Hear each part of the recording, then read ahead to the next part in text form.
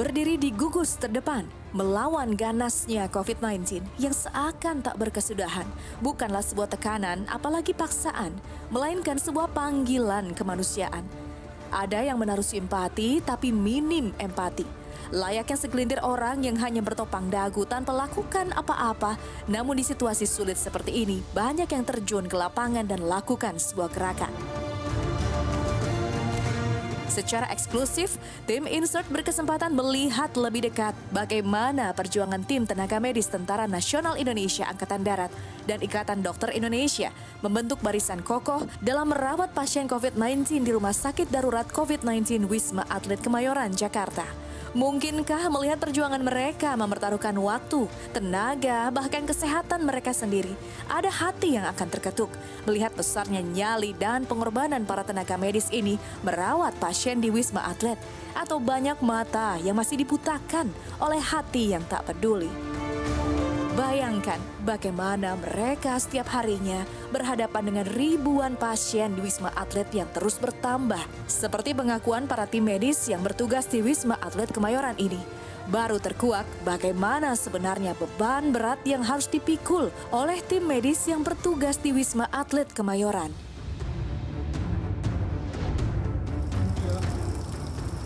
Yang ambil jam berapa tadi masuknya? Tadi saya masuk shift siang Shift siang ya? Ya. Jam berapa itu bang? Tepatnya? jam jam setengah sebelas sudah harus di ruang makan ruang neko. Bang mungkin bisa jelasin sedikit bang kondisi di dalam seperti apa sih bang? Mohon, mohon maaf ada hal yang tak perlu Oh, iya. saya sampaikan. Oke. Cuman kalau kondisi di dalam bisa masuk seperti rumah sakit biasa pada umumnya. Tapi udah berapa lama jadi tim medis ini bang? Ini udah mau saya bilang dua minggu. Dua minggu ya? Ya. Ada rasa takut gak sih bang, khawatir bang dengan diri sendiri saat berinteraksi dengan para Itu pasien? sih kalau takut sama. Apalagi waktu saya berangkat, saya dari Medan. Pas saya berangkat dari sini, sebenarnya bukan pakai setir orang tua. Tapi saya beranikan diri aja. Tetap memberanikan diri walaupun tidak dapat restu dari orang tua bang? Iya. Kenapa? Tetap nekat walaupun pihak keluarga tidak boleh mengizinkan. Pertama saya udah lama di Medan udah udah sempat udah sempat udah sempat keluar dari tempat pekerjaan. Terus pas saya dengar di Atlet butuh lowongan kerja dari relawan perawat, saya coba, cuman saya lapor dulu sama orang tua melapor. Kira-kira bisa. Lebih seperti itu pak. Oke. Berarti setelah ini diwajibkan istirahat bang ya? Enggak, saya harus balik lagi. Balik lagi? Ya. Karena kebetulan ada masalah teknis di lapangan, Oh, jadi saya harus balik lagi. Nama siapa bang? Saya perawat Jonathan pak. Perawat Jonathan. Ya, siap. Siap. Makasih bang. Makasih bang. Eh, sebelum berangkat saya kan pasti minta izin dulu ya sama keluarga dan alhamdulillah keluarga saya mengizinkan. Cuma memang keluarga besar, kebetulan saya anak bungsu jadi pas seminggu saya di sini keluarga saya masih nangis-nangis suruh pulang jangan di sini gitu. Tapi saya meyakinkan mereka bahwa di sini saya baik-baik aja meskipun jam dinasnya luar biasa ya di sini gitu karena memang Ramadan jadi jam 3 pagi kita sudah siap di ruangan sampai jam 11 siang. Tapi saya bisa meyakinkan keluarga bahwa saya baik-baik Eh, kemudian semua kebutuhan juga dipenuhi dan insya Allah saya sehat sampai hari ini. Selain harus menanggung beban berat memikirkan keluarga yang tak bisa ditemui, para tim medis pun harus bisa sepenuh hati mendedikasikan raganya untuk pasien. Bayangkan saja, selama berbulan-bulan tim tenaga medis TNI AD serta Ikatan ID tersebut harus tinggal di Wisma Atlet bersama ribuan pasien positif COVID-19. Bangunan para medis pun hanya berjarak beberapa meter saja dari bangunan pasien. Dan mereka bekerja selama kurang lebih 14 hari hingga satu bulan yang terbagi dalam tiga shift yang berbeda. ada 14 hari kerja dengan 14 hari karantina. Nah, kalau hari kerja itu kita biasanya dibagi eh, dokter sipil dengan militer dibagi ke dalam 5 tim. Satu tim itu sekitar 20 dokter. Dari pihak TNI, eh, kita itu ditugaskan selama satu bulan kerja dan dua minggu karantina. Kalau dari sistem eh, kerjanya sama seperti dari ID.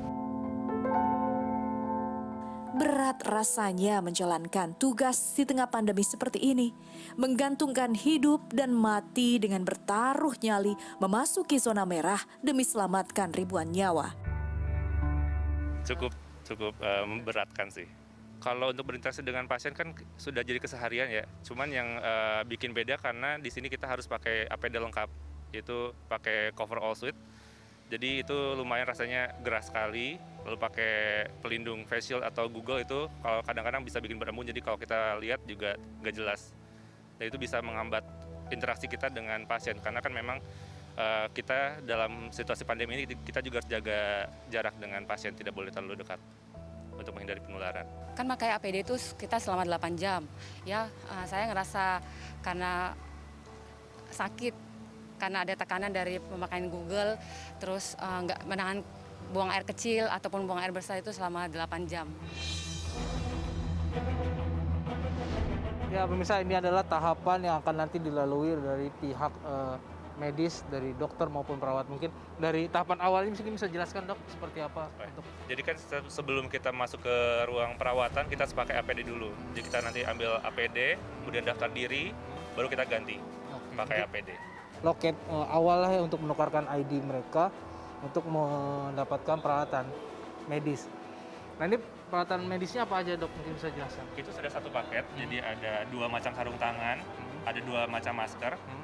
ada head cap atau pelindung kepala, hmm. ada Google atau face shield, okay. kemudian ada overall suit dengan sepatu boot. Nah ini bisa jadi setiap memang mereka beraktivitas saat uh, tugas mereka selalu menukarkan ID dan di sinilah mereka menukarkan ID untuk mendapatkan perlengkapan medis mulai dari uh, dari atas kepala sampai uh, kaki. Nah ini yang sudah didapat apa sih mungkin? Ya uh, kalau ini Google. Ini Google. Oke. Okay. Kemudian ini ada uh, masker yang masker N95 hmm. dan masker yang biasa, hmm. masker surgical. Hmm. Kemudian ada juga sarung tangan yang biasa itu sarung tangan yang paling dalam. Kemudian yang di luar kita pakai sarung tangan yang surgical. Berarti dari sarung tangan sendiri memang dua lapis sendiri. Siap. Ya?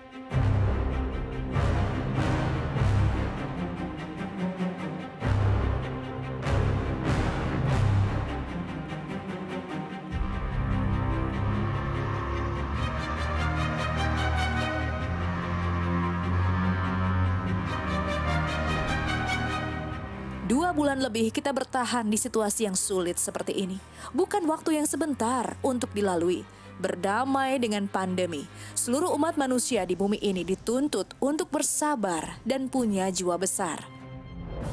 Sudah banyak nyawa yang jadi taruhan. Pahlawan mereka di garda terdepan pun banyak yang tumbang Belasan dokter hingga perawat terus-terusan mengabarkan kabar duka dari berbagai kota, menyisipkan kisah pilu perjuangan mereka melawan situasi pandemi yang tak berkesudahan. Belum cukup duka mereka rasakan, tak sedikit dari mereka yang ikut dikucilkan karena terpojokkan keadaan. Profesi mereka ibarat sebuah aib, tapi tanpa mereka, masyarakat Indonesia bisa apa? Dan ketika melihat banyak yang mulai mendobrak aturan, semua orang yang sudah berjuang sejauh ini merasakan sebuah pengkhianatan. Aturan dihiraukan, tak peduli lagi dengan virus yang mengancam. Perjuangan orang-orang yang patuh aturan jadi terasa sia-sia. Sebuah pertaruhan yang dilakukan para tenaga medis seolah tak ada di lainnya kesal, marah, dan rasa dongkol berkecamuk. Ingin rasanya berteriak, namun mereka hanya bisa meluapkan kekecewaan lewat tagar Indonesia Terserah yang ramaikan sosial media.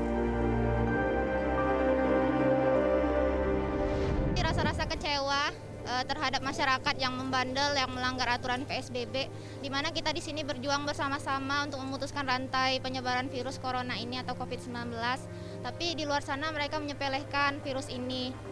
Nah, tapi kita juga sebagai tenaga medis nggak bisa untuk menyerah juga. Kita memang bisa bilang kalau kita kecewa, sakit hati, tapi sesuai sumpah profesi kita nggak boleh kayak gitu. Karena masih banyak yang harus kita selesaikan, masih banyak pasien-pasien yang perlu sama kita.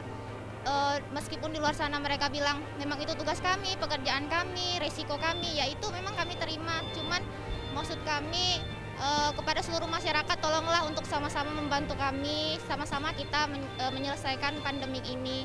Jadi kita bisa sama-sama terbebas supaya kita keluar pun nggak perlu harus pakai masker dan merasa takut. Itu mas.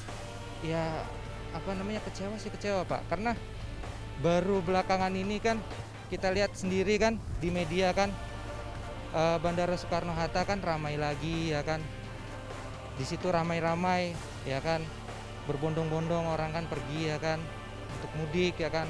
Nah ini momen-momen ini seharusnya eh, di sabar dulu lah. Nah, kalau kita lihat mereka susah diatur di luar bergerumpul-gerumpul dan melakukan aktivitas massal itu yang membuat penyebaran itu cepat. Nah itu sehingga kita tergantung mereka. Kita akan di sini akan landai kalau mereka positifnya naik terus akan masuk ke sini semua. Artinya tidak membantu kita. Jadi marilah kita eh, saya pesan kita bekerja sama masyarakat luas seluruh Indonesia kami pesan kita bekerja sama di sini. Kalau dari saya pribadi ya untuk masyarakat Indonesia khususnya tolong please gitu ya ikuti aturan pemerintah. Karena PSBB ini kan untuk kebaikan kita bersama. Eh, di sini kami yang bertemu pasien-pasien di sini gitu ya yang banyak gitu seribu lebih eh, apa ya secara apa ya secara manusiawi itu kami merasa ya Allah kasihan gitu ya. Mereka punya keluarga harus isolasi di sini meninggalkan keluarga berbulan-bulan gitu kan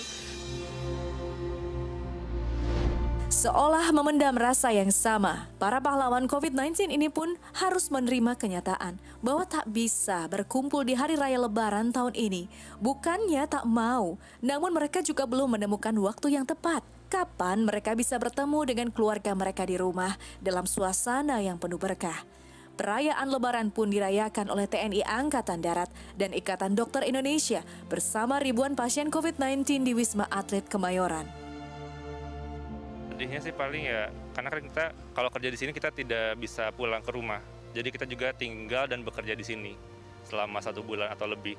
Jadi pasti yang sedihnya yaitu jauh dari keluarga dan tidak bisa ke mana-mana. Sedih sih pasti sedih ya. Eh, satu bulan kita di Wisma Atlet tidak bisa ketemu keluarga, tidak bisa ketemu teman- teman-teman.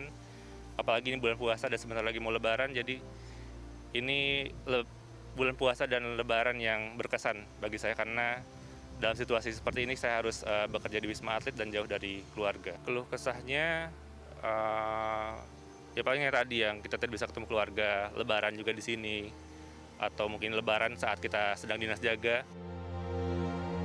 Berjuang sendirian melawan COVID-19 rasanya tak akan mempan tanpa bantuan semua lapisan masyarakat di berbagai kalangan. Sayangnya, belakangan sikap pemerintah yang tarik ulur dijadikan alasan masyarakat untuk melanggar aturan perlahan mulai dilonggarkan.